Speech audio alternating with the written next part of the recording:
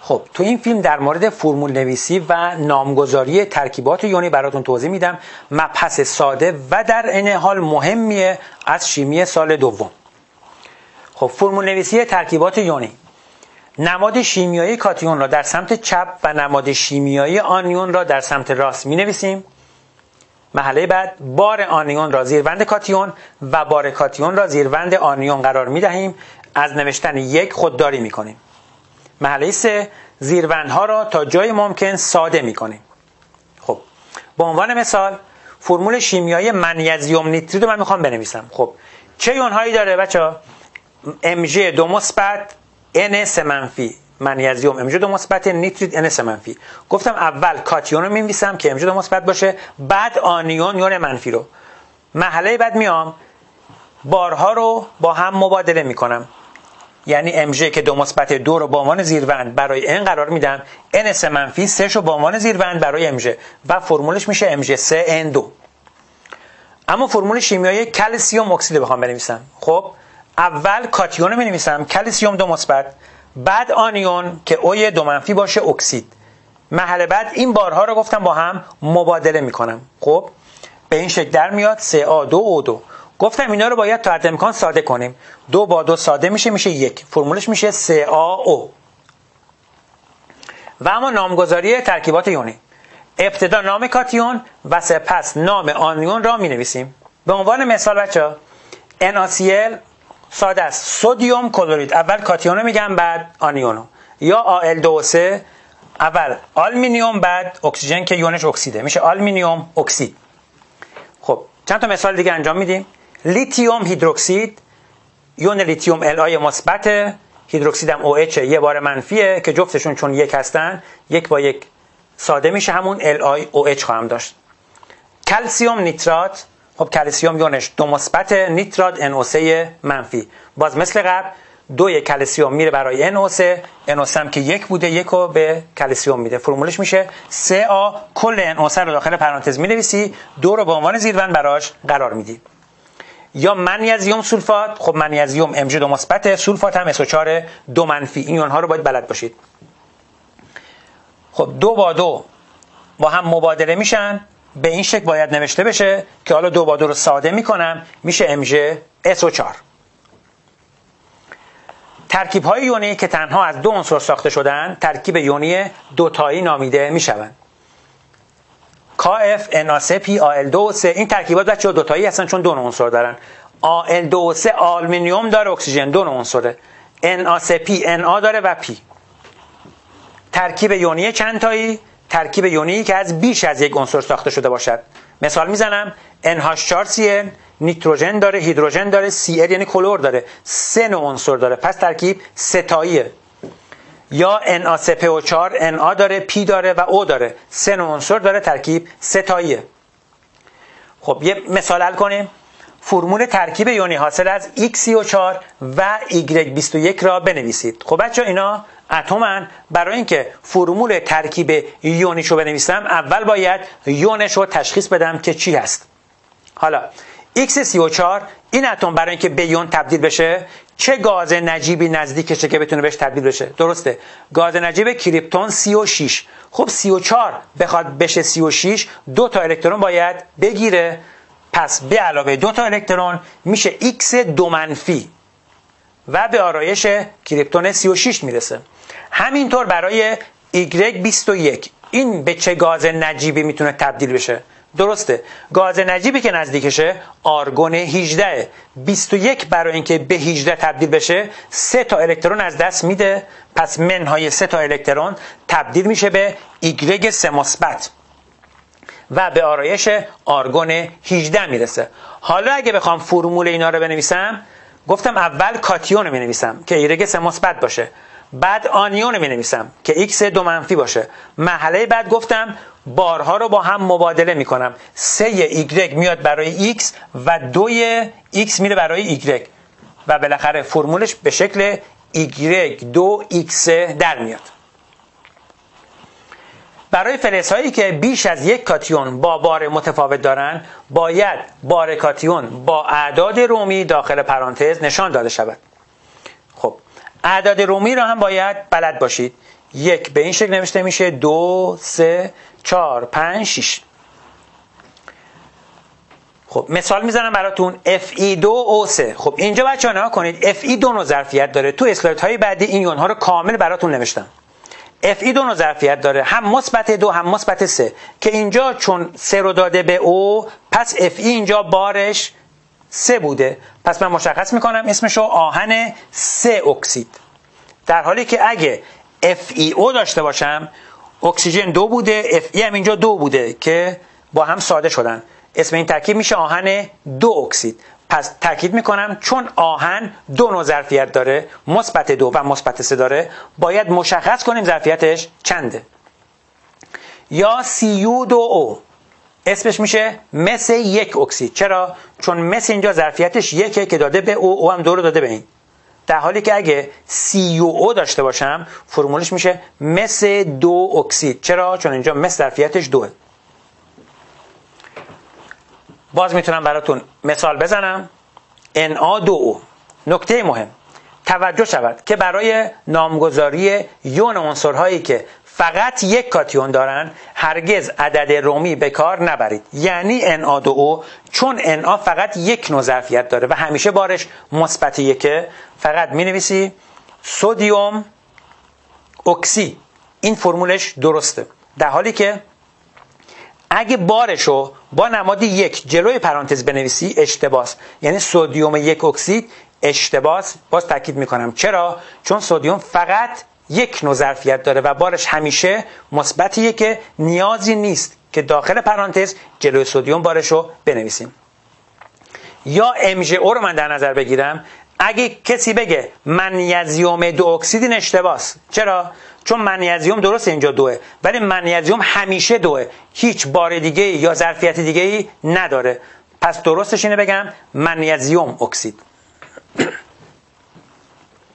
جدول زیر را کامل کنید. خب دو تا فرمول نوشتیم که اسمشو بگیم دو تا اسم آوردیم که بخوایم فرمولشو بنویسیم.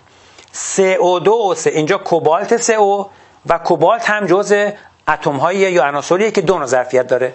اینجا ظرفیت کوبالت 3 مشخص می‌کنم فرمولش رو کوبالت 3 اکسید.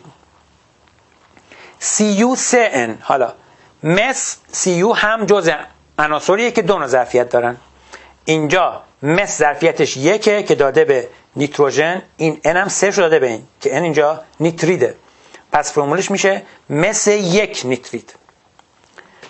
حالا دو تا اسم دارن که من فرمول شیمیاییش رو می نویسم کروم سه فلورید.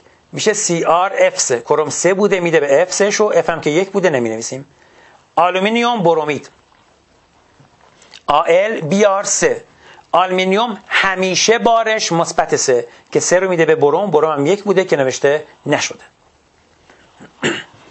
مهمترین یون های تک اتمی یونهای گروه یک و دو به ترتیب دارای بار مثبت یک و مثبت دو هستند آلومینیوم فقط یون Al سه مثبت تشکیل میده. این یون ها رو هم می‌شناسیم.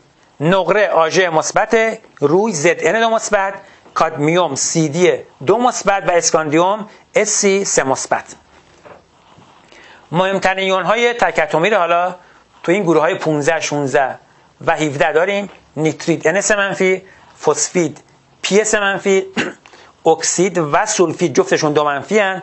فلورید کلورید برومید یودید گروه 17 همشون یک منفی خواهند بود.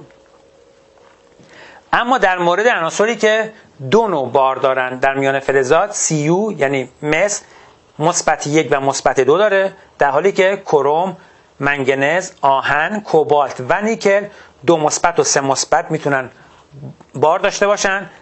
قلع و سرب یعنی Pb و Sn سرب و قلع بارشون دو مثبت و چهار مثبت می‌تونه باشه. اما مهمترین یون های چند اتمی؟ پرمنگنات MnO4 یک منفی منگنات MnO4 دو منفی. تفاوتشون فوق العاده مهمه. کرومات CrO4 دو منفی دی کرومات CR2 و 7 دو منفی.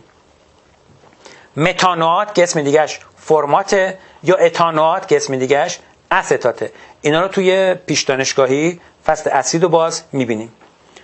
گروه 14 یون های مهمی که می‌سازه کربنات 3 و 3 دو منفی اگزالات 3 دو 4 دو منفیه سیانید سین منفی و کاربید 3 دو دو منفیه. گروه 15 یون های چند اتمیش آمونیوم منهاش 4 مثبت نیترات NO3 منفی نیتریت NO2 منفیه.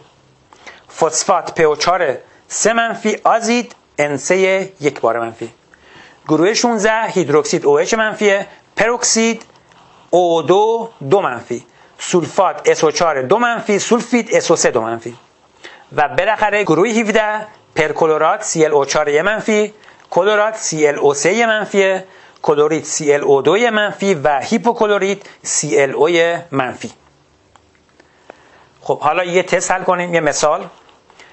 اگر فرمول منگنات عنصر X به صورت XMNO4 باشد درصد اکسیژن در پروکسیدین فلز تقریبا چقدر است؟ خب بچه دقت کنید میگه فرمول منگنات عنصر X به شکل XMNO4 پس XMNO4 اگه منگنات باشه منگنات رو تو این ها دیدی. MNO4 دو منفی بوده منگنات. پس حتما اینجا X من دو مثبت بوده که دو با دو ساده شده و به شکل XMNO4 در اومده. اگه X یونش دو مثبته حالا توی فرمول پروکسید بخوام برای X بنویسم میشه XO2 چون پروکسید هم دیدیم هست O2 دو منفی. پس O2 فرمولش دو منفی پروکسید با دو مثبت X ساده شده به شکل XO2 در میاد. حالا میگه تو این پروکسید درصد جرمی اکسیژن چنده؟ میشه جرم اکسیژن به جرم کل ترکیب ضرب در 100 جرم اکسیژن دو تا اکسیژن دارم میشه دو تا 16 تا. جرم کل ترکیب X رو داده 40 به علاوه دو تا اکسیژن دو تا 16 تا. ضرب در 100 می‌کنم به شکل درصد داشته باشم به دست میاد. 44 ممیز 4 درصد. یه نکته ترکیب یونی ترکیب خونسا است. یعنی مقدار کل بارهای مثبت با مقدار کل بارهای منفی برابر است. ولی لزوما تعداد یونهای مثبت با تعداد یونهای منفی برابر نیست. خب اینو برای شما من توضیح میدم. آل دو سر من در نظر بگیرم. خب چه یونهایی داره بچه دو تا آل سه مثبت داره. سه تا اکسیژن دو منفی داره. خب ببینید چند تا بار مثبت داره؟ دو سه تا شش بار مثبت. سه دو تا شش تا بار منفی. پس بارها با هم مساوی شدن. ترکیب خونساه اما لزوما گفتم یون ها مساوی نیستن. اینجا چند تا یون مثبت دارم؟ دو تا یون مثبت دارم. سه تا هم یون منفی دارم. پس یون ها مساوی نشدن. یه تسل کنیم از تجربه داخل 96 نسبت شمار اتم های نیتروژن به شمار اتم های اکسیژن در آمونیوم سولفات برابر نسبت شمار کاتیون به شمار آنیون در کدام ترکیب است؟ ترکیب هم داده. خب ببینید بچه من میام اول توی آمونیوم سولفات باید شما مشخص کنی نسبت شمار نیتروژن به اکسیژن چنده. بعد بریم تو این ترکیبات نسبت شمار کاتیون به آنیون رو پیدا کنیم ببینیم کدوم نسبت رو مشابه میشه. حالا توضیح میدیم حلش می‌کنیم.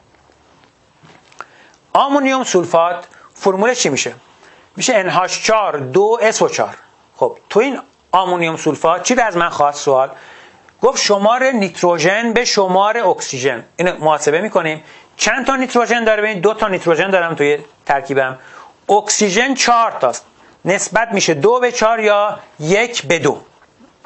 حالا این نسبت یک به دو رو گفته شمار کاتیون به شمار آنیون تو اون گزینه‌ای که داده کجا میشه یه دوم. خب ببینید بچه حالا یه نکته به شما یاد میدم. برای اینکه شمار کاتیون به شمار آنیون رو به دست بیاری بدون اینکه فرمول ترکیب رو بنویسی از این رو استفاده کن. این نسبت برابر میشه با بار آنیون به بار کاتیون. پس یه بار دیگه میگم اگه نسبت شمار کاتیون به شمار آنیون از من می‌پرسه من میرم بار آنیون رو به بار کاتیون محاسبه می‌کنم. خب کلسیوم استات خب ببینید بچه گفتم بار آنیون به بار کاتیون. آنیونش استات بارش یکه. تو اون جدول دیدید الان. کلسیوم هم بارش دوه. این نسبت به دست میاد یک به دو. پس همین گزینه جواب سوال ما خواهد بود چون نسبت یک به دو اینجا هم یک به دو به دست اومد. این نسبت ها مشابه بودن. گزینه‌های بعدم بررسی کنیم. توی آلومینیوم نیترید خب بار آنیون به بار کاتیون چند میشه؟ آنیونش نیترید سه آلومینیوم هم بارش سه. سه به سه نسبت میشه یک.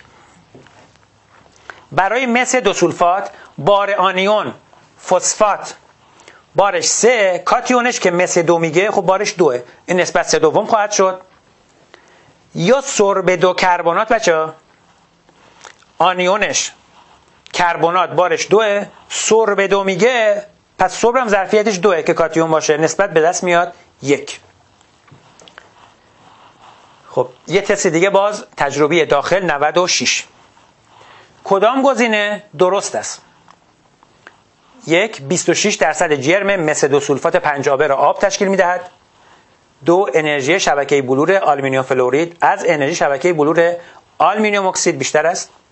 سه عدد کوردیناسیون هر یون در شبکه بلور برابر شمار بارهای مثبت یا منفی یون هاست. و بالاخره چهار نام CR2SO43 کرومیک سولفات است و عدد اکسایش گوگرد در آن دو برابر عدد اکسایش کروم است. خب تک تک گزینه‌ها رو با هم بررسی کنیم. گزینه یک میگه 26 درصد جرم مس دو سولفات 5 آبه را آب تشکیل می‌دهد. خب مس دو سولفات 5 آبه جا میشه CuSO4 که 5 تا آب داره به این شکل. من می‌خوام درصد آب توش به دست بیارم. جرم آب به جرم نمک آبدار که جرم کل باشه حساب میشه. چقدر آب اینجا وجود داره؟ 5 تا آب 5 تا 18 تا چون جرم مولی آب 18 تقسیم بر جرم کل اون ترکیب. CuSO4 جرمش 160 5 تا هم H2O 5 تا 18 تا. اینو شما به دست بیاری برای اینکه به شکل درصد بشه ضرب در 100 می‌کنیم؟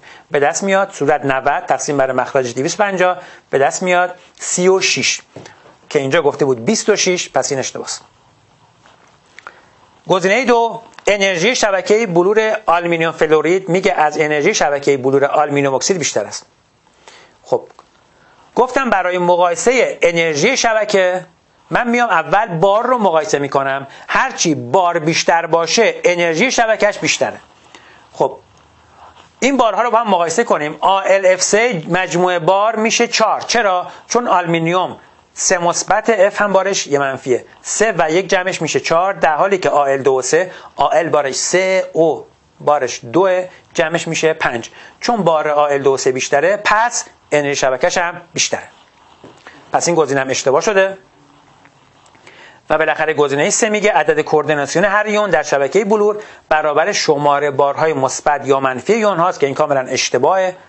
گفتیم اینو عدد کوردیناسیون توی شبکه اناسیل 6 در حالی که بار هر کدوم از یون ها یک مثبت یا یک منفی هم.